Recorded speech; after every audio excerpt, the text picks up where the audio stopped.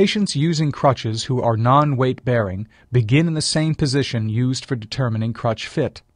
However, the involved lower extremity is not on the floor. Generally, most patients hold the involved extremity in front when the knee cannot be flexed and behind when it can be flexed. The therapist is positioned in stride behind and to one side of the patient. The therapist holds the gait belt and the patient's shoulder.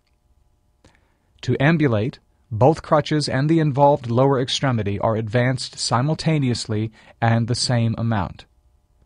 Meanwhile, the therapist moves his right or outside foot forward either at the same time or immediately after the crutches are advanced.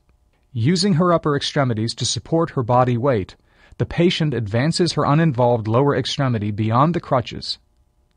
Initially, the patient may step to her involved lower extremity rather than step through. Stepping through is the normal gait pattern and the therapist should encourage it. Again, the therapist advances his left or inside foot as the patient moves her uninvolved lower extremity. This sequence is repeated. Patients on crutches using a three-point gait pattern with partial to full weight-bearing capability start with their feet side by side in the same position used for determining crutch fit. The physical therapist must be positioned in stride, behind and to one side of the patient. The therapist grasps the patient's gait belt and shoulder.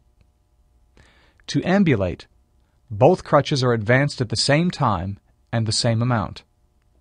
The therapist advances his right or outside foot either at the same time or immediately after. The patient advances her involved lower extremity so the toes are even with the crutch tips. As she improves, the patient may move the crutches and involved lower extremity at the same time, resulting in a faster pace. Using her upper extremities to support her body weight, the patient advances her uninvolved lower extremity beyond the crutches.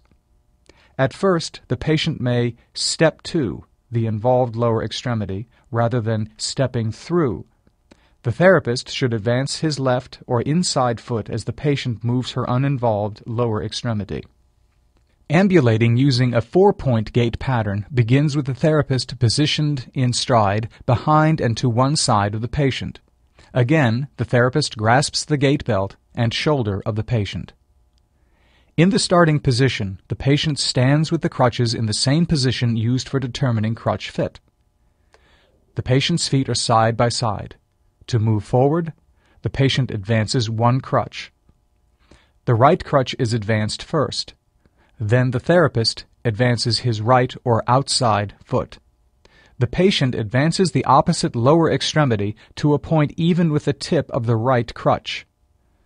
She shifts her weight to the right crutch and left lower extremity. Then she moves her left crutch beyond the right one.